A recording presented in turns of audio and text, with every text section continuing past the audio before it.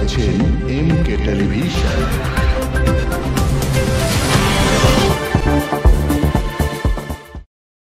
আসসালামু আলাইকুম।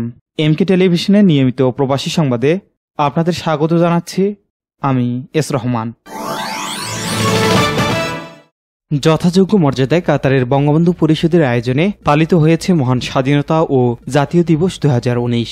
সাধারণ সম্পাদক নুরুল আলমের পরিচালনায় এতে সভাপতিত্ব করেন সংগঠনের সভাপতি এস এম ফরিদুল হক। জাতীয় দিবসে তাৎপর্য তুলে ধরে বক্তব্য রাখেন সিনিয়র সহসভাপতি আনোয়ার শাহ, সহসভাপতি মীর মোশারফ হোসেন, শহীদুল্লাহ হায়দার, ইঞ্জিনিয়ার জালাল আহমেদ, লিয়াকত হোসেন, শাহাদত হোসেন, নুরুল আফসার, সৈয়দ আনামিয়া, মখলিসুর রহমান সহ আরও অনেকে।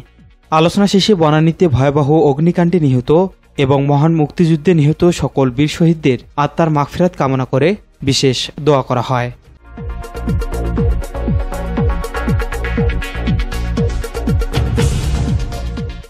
দর্শক, এমকে টেলিভিশন সংবাদের বিস্তারিত জানতে ভিজিট করুন W W W dot MK television dot net এই ঠিকানায়। এছাড়াও, সংবাদ ও অনুষ্ঠানের সব ভিডিও পেতে সাবস্ক্রাইব করুন YouTube dot com slash MK television net এবং Facebook dot com slash MK television page শেষ করছি এমকে টেলিভিশন সংবাদ।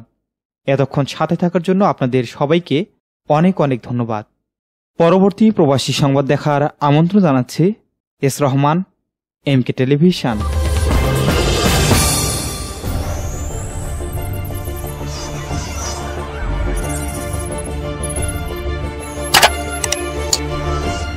আপনারা দেখছেন এম কে টেলিভিশন।